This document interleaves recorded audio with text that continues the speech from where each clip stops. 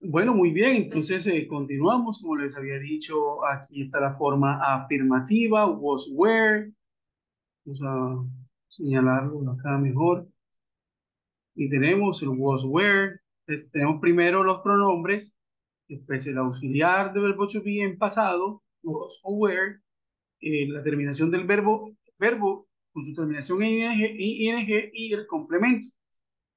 I was living, you were drawing, he was playing, she was flying, I was working, etc. Acá está el complemento. Todo esto de acá es complementario. ¿Ok? Entonces, siempre acá el pronombre o sujeto, siempre el verbo to be en su forma conjugada, siempre el verbo principal, de acuerdo a las reglas gramaticales que ya hablamos de cómo eh, se debe, debe agregar el ing a las palabras. Y tenemos eh, el complemento en esta parte de acá. ¿Ok? Muy bien.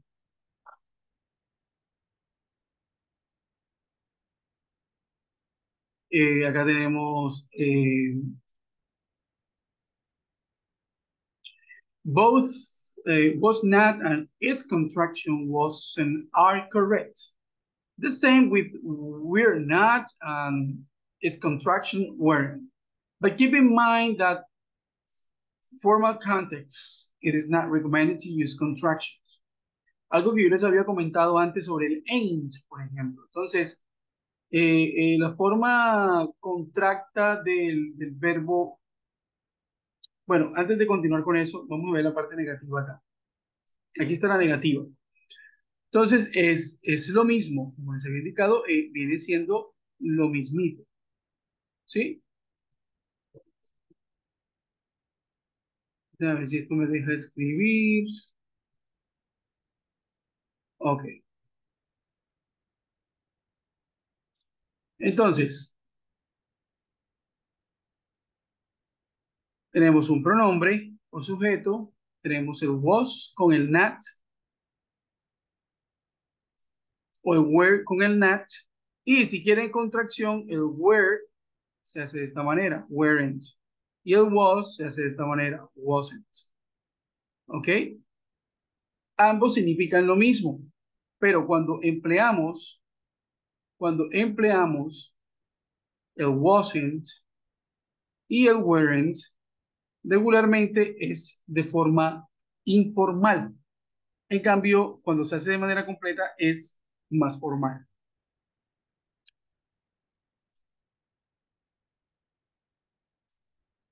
Muy bien, continuamos acá. La forma interrogativa también se lo había indicado como todo auxiliar. Entonces, eh, lo único que, que hay que hacer es que se coloca primero el verbo to be que funciona como auxiliar, que nos permite hacer la pregunta, después el sujeto pronombre, como les había indicado, después el verbo con ing y después el complemento.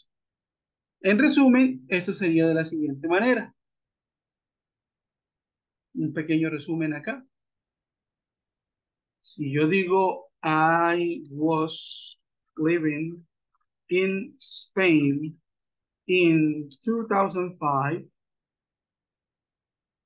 de la forma afirmativa, la negativa sería I was not living in Spain in 2005.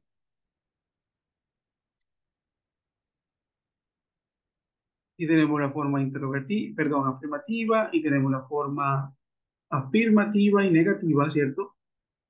Y ahora la forma interrogativa de esto sería was I living in Spain in 2005? Vamos a cambiar ese pronombre. Vamos a colocar un she. Was she living in Spain in 2005? Yes, she is. No, she isn't. Ahora, si usted lo quiere hacer de forma larga, perdón, eh, sin la negación, sin la contracción, quiero decir.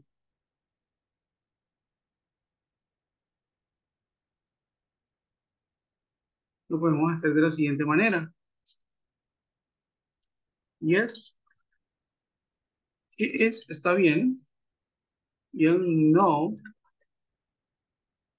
is not. No, is not. No, she's not. ¿Cierto? Aquí esta oración. She was not living in Spain in 2005. She wasn't living in Spain in 2005. Es lo mismo. Ambas oraciones son lo mismo. Lo único que cambia es que se une el was con el not y se convierte en wasn't. Eso sería todo. Entonces, muchas gracias eh, por estar acá presente. Espero que esta información eh, les haya servido muchísimo y que tengan ustedes un grandioso día. Have a great day. Bye bye.